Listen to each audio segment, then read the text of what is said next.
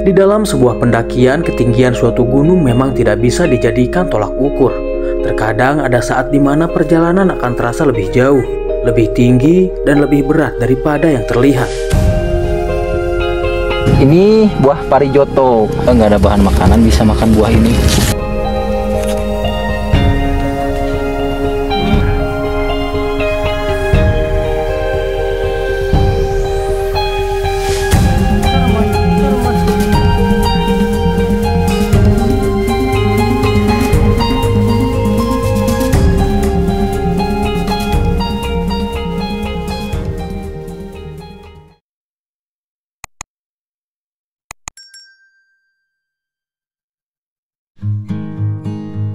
Assalamualaikum warahmatullahi wabarakatuh. Bertemu lagi dengan saya Zana Klana Kali ini saya akan mendaki ke salah satu gunung yang terletak di daerah Ciwidey, Kabupaten Bandung, Jawa Barat. Gunung itu bernama Gunung Tambak Ruyung, sebuah gunung yang mungkin terdengar sedikit asing bagi sebagian besar para pendaki, karena memang gunung ini tidak seterkenal tetangganya yaitu Gunung Patuha. Gunung yang memiliki ketinggian 1994 meter di atas permukaan laut ini belum memiliki basecamp resmi seperti gunung-gunung konvensional lainnya. Jadi untuk tingkat kejelasan dari jalurnya pun bisa dibilang belum sejelas gunung-gunung lain yang memang sudah dikelola dengan baik. Sementara untuk penitipan kendaraan, kami menitipkannya di salah satu warung yang berada di Desa Lebak Muncang, Kecamatan Ciwidey. Untuk link koordinat lokasi penitipan kendaraannya seperti biasa, saya sertakan di kolom deskripsi.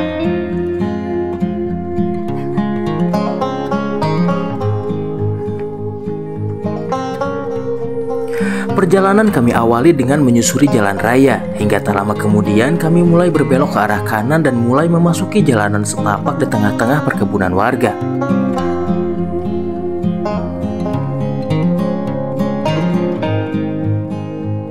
Oke teman-teman, jadi uh, ceritanya sekarang kita mau naik ke Gunung Tambak Ruyung. Kita berangkat bertujuh. Ada Kang Adam Aksi Petualang, terus ada Kang Maul sahabat alam. Dan si Akang nih Akang siapa ini? Kang Aditya. Oke jadi kita naik bertujuh teman-teman. Dan sekedar informasi buat kalian yang mungkin ingin mendaki ke gunung ini juga bahwasanya di sini belum ada base camp resmi. Jadi pastikan kalau kalian pengen di sini pastikan kalian ditemanin sama orang yang sebelumnya pernah ke gunung ini biar lebih safety. Oke kita start sekarang di jam 14 lebih 10 menit ya kita start estimasi di tiga jaman kurang lebih. Mudah-mudahan aja bisa tepat tiga jam. Lebih cepat lebih baik. Kayak gitu. Kalau gitu ikutin terus. Keseruan kita sekarang. Naik ke gunung tambak ruyung. Bareng orang-orang hebat. Ada Kang Adam. Ada Kang Maul juga. Oke. Bisa. Tuan-tuan Pak Suki. kemarin di bawah ribu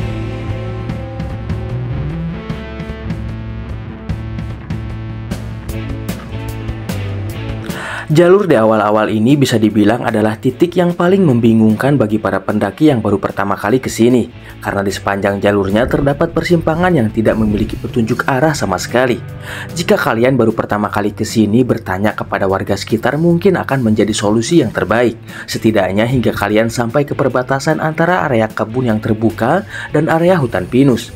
Karena dari situlah petunjuk arah berupa string line mulai banyak ditemukan, dan string line-string line itulah yang akan memandu kalian hingga nanti sampai ke puncak gunung ini.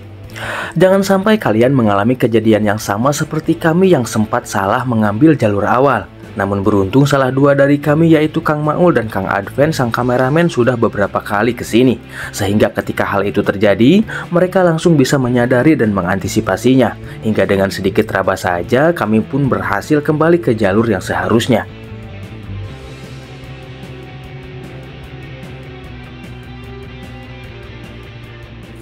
Oke teman-teman. Dan untuk patokannya di sepanjang jalur kita bisa eh, mengikuti streamline kayak gini. Ini hampir di sepanjang jalur ada ya untuk streamline-nya ini. Eh, mayoritas berwarna merah kayak gini untuk streamline. Ini kita bisa ikutin ini terus. Tapi yang membingungkan itu adalah dari penitipan kendaraan sampai ke titik awal streamline-nya tadi.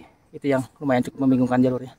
Kalau setelah kita nemu string line itu eh, pemasangan string line-nya cukup intens terus ada jadi nggak terlalu membingungkan sih kalau udah nemu string kayak gitu oke mantap Setelah beberapa saat menyusuri jalanan landai di area hutan pinus, kami mulai memasuki area hutan rimba. Dan dari sinilah beratnya jalur gunung tambak ruyung mulai terasa. Di mana jalur yang harus kami lewati di area ini berupa tanjakan panjang dengan kemiringan yang nyaris vertikal.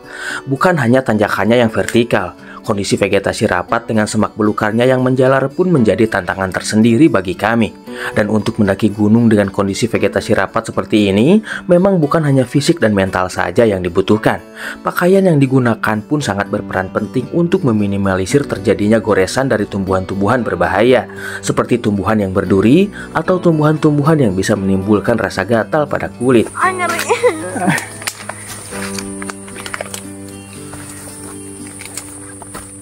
Harapun kamera mah perlu semangat. Harus semangat. Berat eh. Punten ah. Mangga. Saya teronton mah paneri ya. Beri udut ya. Beri udut.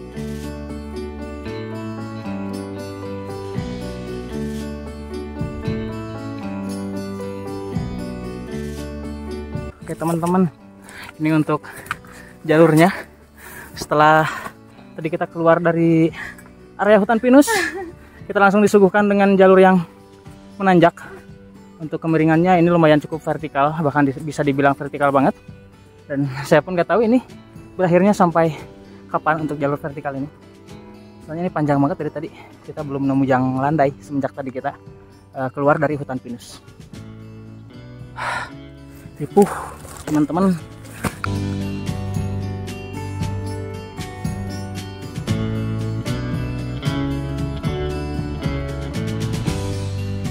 Tanjakan ini adalah tanjakan panjang yang pertama dari tiga tanjakan panjang yang harus kami lewati sebelum kami sampai di puncak. Dan di setiap ujung dari tanjakan-tanjakan yang akan kami lewati ini terdapat area lapang dan sedikit jalanan landai sebagai bonusnya.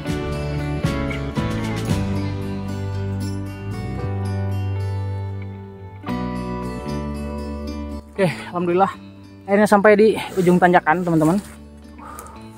Kang Adam sama Kang Maul lagi nerbangin drone sebelah sana. Nanti kita ke sana juga jalurnya. Ini saya istirahat dulu bentar. Bareng Teh Dewi. Ripuh. Ripuh. Ini baru sampai ujung tanjakan. Ke sananya landai kelihatannya, tapi habis landai ini kita bakalan nanjak lagi pasti. Itu sampai ke puncak. Kayak gitulah. Oke, ikutin terus. 50 menit adalah waktu yang kami butuhkan dari awal masuk pintu hutan sampai ke ujung tanjakan pertama atau yang saya sebut dataran satu ini. Di sini kami sempatkan untuk beristirahat sejenak, sekadar untuk melepas lelah sebelum kami kembali melanjutkan langkah.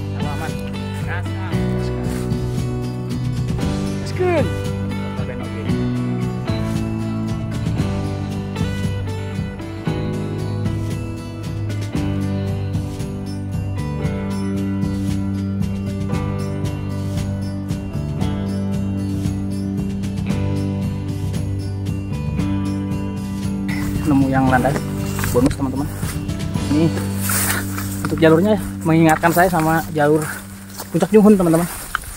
Hampir mirip kayak gini juga. Kita dikasih tanjakan panjang terus dikasih landai kayak lembahan. Terus nanti di depan kita nanjak lagi. Terus vegetasinya juga hampir sama. Masih rapat-rapat kayak gini. Keren mantap. Suka sih saya sama vegetasinya ini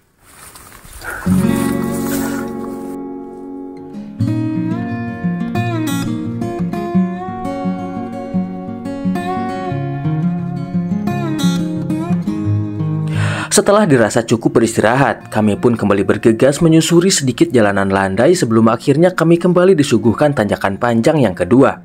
Tingkat kemiringan dari tanjakan yang kedua ini tidak jauh berbeda dengan tingkat kemiringan dari tanjakan yang pertama tadi. Yang membedakannya hanya di jarak tempuhnya saja, di mana jarak tempuh dari tanjakan yang kedua ini sedikit lebih panjang dari tanjakan yang pertama tadi.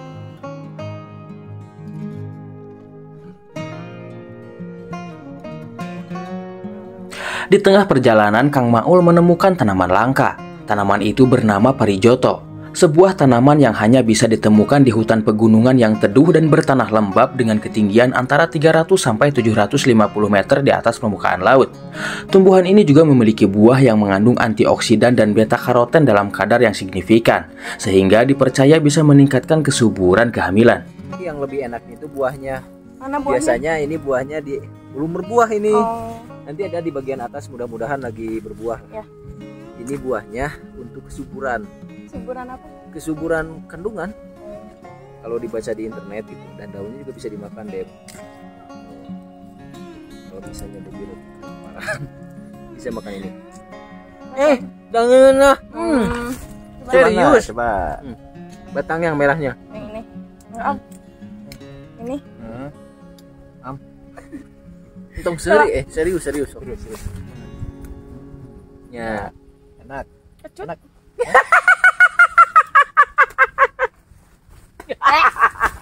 Ada. Buahnya, Kang. Cuman memang posisinya ini belum terlalu matang. Hmm, Kalau udah matang biasanya warna hitam. hitam. Oh, Ini buah paling dicari oh gitu.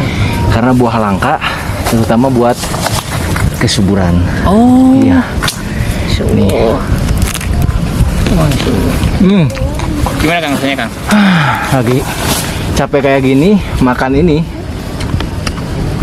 segernya minta ampun. Hmm. Kabibita euy. Hmm. hmm. Oh, Tes lah. Bismillah.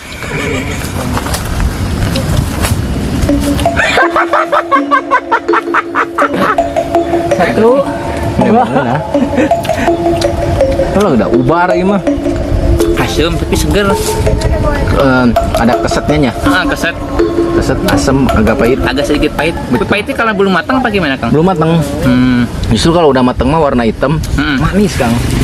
Nah, lihat, ini kita perlihatkan sama pendaki cewek-cewek nih. Udah pernah makan ini belum, Pril? Belum. Nggak tahu itu apa juga. Ini buah parijoto. Bisa tumbuh di ketinggian dan memang ini buah hutan yang bisa dikonsumsi. Nah, ciri-cirinya kalau yang udah matang itu warna hitam. Tapi kalau ini belum matang masih muda lah. Tapi bisa dimakan. Bisa. Hmm. Coba satu aja. Coba Deb. Nyobain. Kalau tadi kan daunnya, sekarang Iya. buahnya Deb. Oh. Hmm. Rasanya aku mah. Asam. Wah, asem. Sekali itu.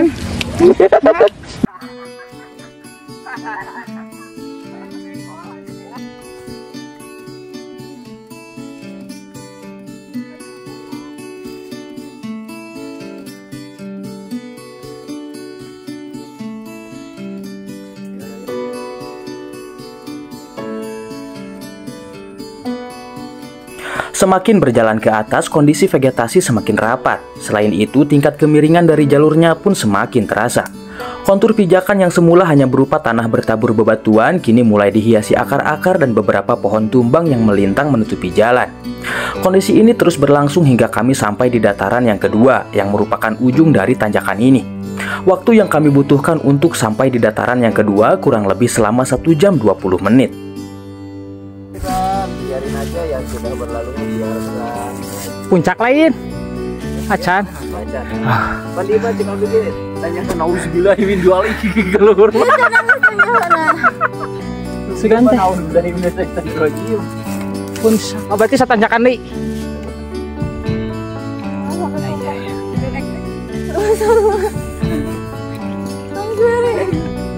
Ih, naon sih ini banget. Di dataran kedua ini kami sempatkan untuk kembali beristirahat sejenak, sekedar untuk melepas rasa lelah dan rasa dahaga yang mulai kembali terasa.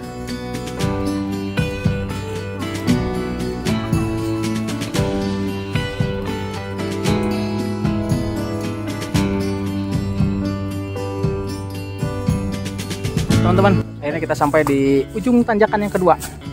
Akhirnya. Lanjut. Tadi saya kira ini puncak, tapi ternyata belum kata eh Amaul.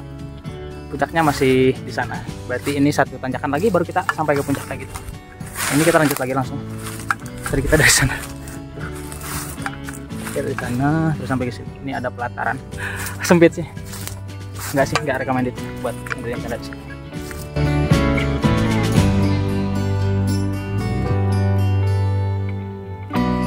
Setelah dirasa cukup beristirahat, kami pun kembali bergegas untuk melanjutkan perjalanan. Dari sini kami hanya perlu melewati satu tanjakan lagi yakni tanjakan yang ketiga. Jika dibandingkan dengan dua tanjakan yang sebelumnya, menurut saya tanjakan yang ketiga ini bisa dibilang lebih ramah, di mana tingkat kemiringan dari tanjakannya tidak terlalu vertikal dan jarak tempuh dari tanjakannya pun relatif lebih singkat. Waktu yang kami butuhkan untuk melewati tanjakan ini kurang lebih hanya sekitar 15 menitan saja. Sangat berbanding terbalik dengan dua tanjakan sebelumnya yang membutuhkan waktu lebih lama dengan kemiringan yang lebih vertikal juga. Guys, puncak. Alhamdulillah ya Allah.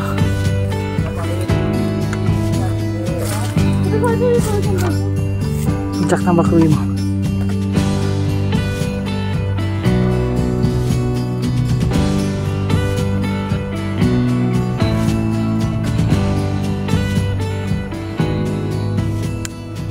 Oke teman-teman, alhamdulillah sampai di puncak tambak ruyung ketinggian 1994 mdpl. Kita sampai di jam 17.40 teman-teman. Terus dari sini kita nggak ngecamp di sini ya, tapi kita mau berjalan ke sana. Jalurnya landai untuk menuju ke area camp. Eh, areanya agak terbuka dibandingkan dengan area yang ini. Ini kan tertutup ya, di area puncak. Makanya kita sedikit ke sana buat menuju ke area camp yang lebih terbuka kayak gitu. Suka banget aing sama vegetasinya eh. Keren.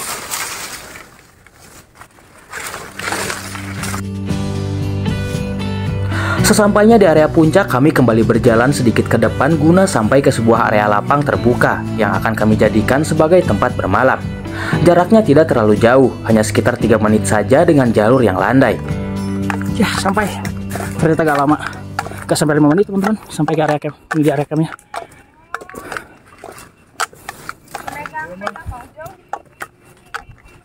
Yeay! Ya, kabut, eh. Tembok.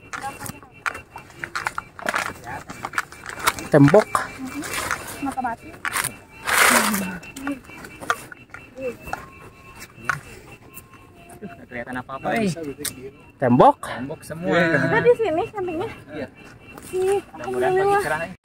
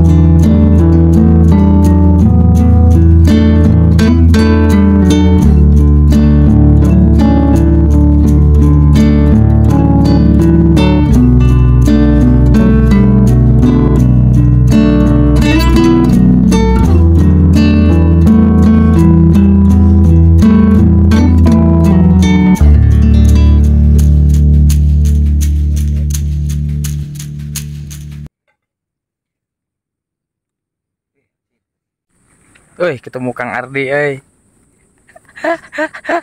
Tambah keruyung. Tambah keruyung, ngaguruyung. Ngaguruyung.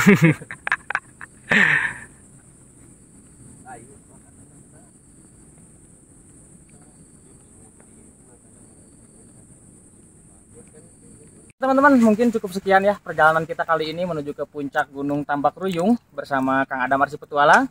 Terus ada Kang Maul juga tapi udah duluan tadi turun sayang sekali. ada yang mau disampaikan Kang Adam barangkali? Eh, buat teman-teman yang mau ke sini, gas lah ke sini. Eh, tempatnya asik, menantang, terus eh, pemandangannya bagus. Baik, mantap. Oke teman-teman, Eh, mungkin akan saya tutup di sini ya untuk pendakian kali ini. Mohon maaf bila banyak kesalahan. Eh, terima kasih buat kalian yang sudah menonton sampai di menit ini dan buat kalian yang baru bergabung. eh, apabila kalian suka dengan konten-konten seperti ini, silahkan diklik aja tombol subscribe-nya. Nyalakan juga lonceng notifikasinya agar kalian tidak ketinggalan video-video terbaru dari channel ini. Terus kalian yang eh, pengen mampir juga ke channelnya Kang Adam, boleh banget. Siap, Eh, video-videonya hampir sama lah dengan video yang saya upload seperti biasanya kayak gitu. Oke, akhir kata dari saya seperti biasa. Jangan pernah menyerah ketika kau lelah, jangan pernah mengeluh seterjal apa pun jalanan yang kau tempuh, karena sesungguhnya di balik semua perjuanganmu yang keras ada keindahan yang sudah menunggumu di atas. Salam sejahtera, salam rimba, Zanaklana.